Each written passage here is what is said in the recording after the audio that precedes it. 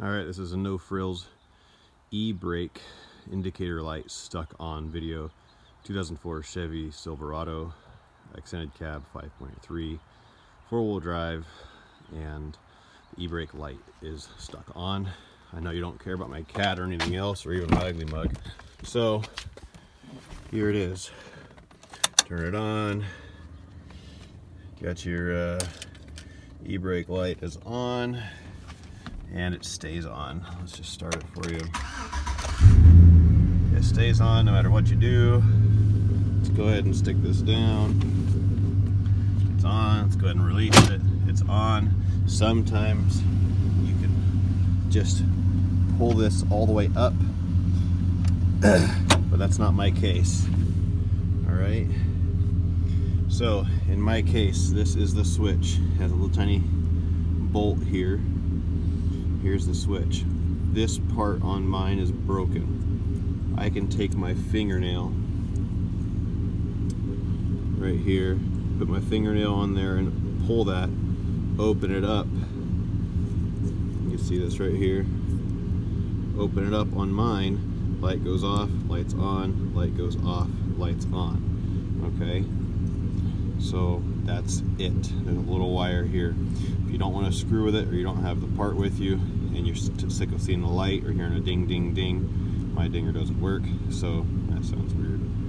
Um, my chime doesn't work. So uh, I don't hear it while I'm driving on the highway, but this the light still blinks. So for my truck, based on its VIN number, here is the part number. It was like six bucks at the dealership. It's AC Delco.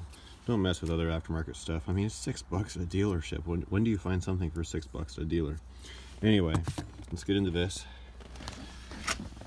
Got my light here. This big old huge thing's in the way. Unscrew this. Move these, these little tabs here. Oh wait, no, this one doesn't have any tabs. You just pull this off. All right, set that off to the side.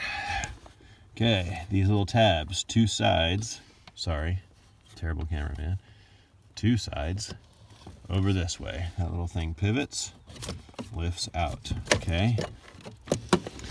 If you look underneath here, you will see,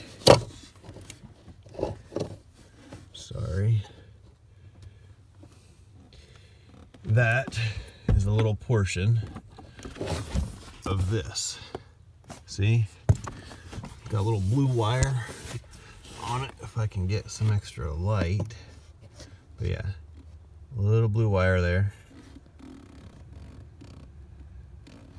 You see a little piece. You can see where mine's broken. See that? I can't get my finger in there and film that, but you just take that little piece, push it down. There it is. All right. So, I'm not going to bother disconnecting mine. I have a 9 and 3 30 seconds, which means this is probably just like a 7 millimeter or something. I don't know. But this works. Put your screwdriver behind this electronic relay bracket. Look at that, it's already coming off. Whether I can actually get this out of here without losing the frickin' nut or a little bolt. I have no idea. Oh, look at that. Amazing. All right. All right. Got this here. Got the screw. And disconnected. All right, do you see what was wrong? This little thing is broken, so it, the e-brake couldn't put it down. This is not broken. I'm trying to do this in one shot so I don't screw on with editing a bunch of crap. So, put you down for a second. I am connecting the wire while it's available to me. Snapped it in. Screw. now is the hard part. All right, I'm gonna bend this down. No, I think I can get it to get to it. I'm sorry for the terrible camera angles. All right. Oh. All right. That feels like it is in its location. I will. Ah, son of a. Happy thoughts. Happy thoughts. This may not be a one handed operation. All right, a few minutes later, I unplugged two of these plugs from there and there. Unplug stuff at your own risk. And I'm moving this bracket out of the way so I can have more access. 10 millimeter bolt. There's one little nut back there. It seems to be the longest possible nut in the entire truck. Sometimes ah, just under.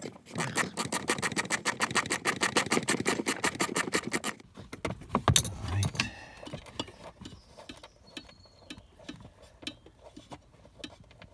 There we go.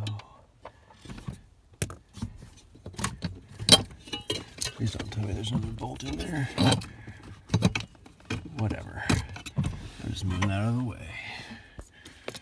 Try this again. Now there's a little detent right here by my finger. See those two? The detent and the screw. So I'll try that. All right, so I finally got it in there. So the hard part of getting that little piece into its spot. Do you see that?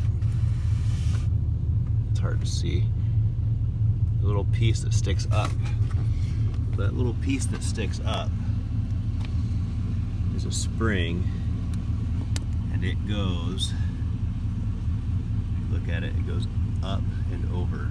That is where your indicator is, and it pushes these two tabs apart. There's a lot of spring pressure on here. That spring pressure prevents you from once once you get the screw in and threaded, it prevents you from pushing this little tab into the correct place. So what I did is I took a zip tie, took off all of that spring pressure as you can see here, screwed it in, installed it, to zoom here. Focus. And then after I get it all screwed in, I just, thing's, of course this is worse. Let's see here. Then, hold that out. So look. E-brake applied. No e-brake applied. E-brake applied. That's a victory. So it's a pain in the butt. And then of course, you gotta, you know, put your little bracket back. Sorry, there's snow. Put this back.